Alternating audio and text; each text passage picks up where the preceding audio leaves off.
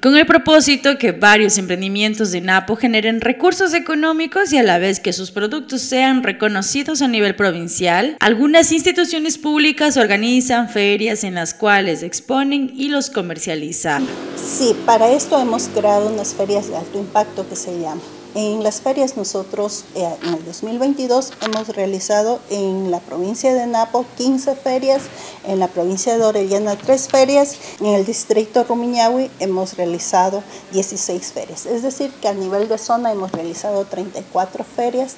En toda la zona unas ventas eh, sobre los 14.845,55 centavos. Varios emprendedores de Napo son beneficiarios del crédito del bono que entrega el Ministerio de Inclusión Económica y Social. Es por eso que estos pequeños negocios participan de la Feria del Encuentro que normalmente se realiza en distintos puntos de la provincia.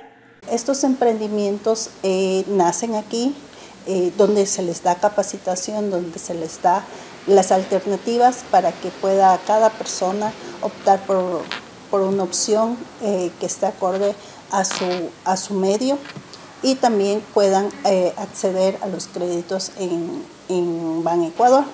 Estos créditos eh, tienen un seguimiento, tienen una participación social de la persona y de las comunidades. Lo que se pretende es eso, dinamizar la economía de la persona, de las familias y de las comunidades en donde viven. Esas ferias del encuentro por lo general se desarrollan cada mes, trimestralmente y en fechas importantes, con el propósito de que generen recursos económicos. Con edición de Diego Acosta, informó Michelle Garzón, Noticias al Día.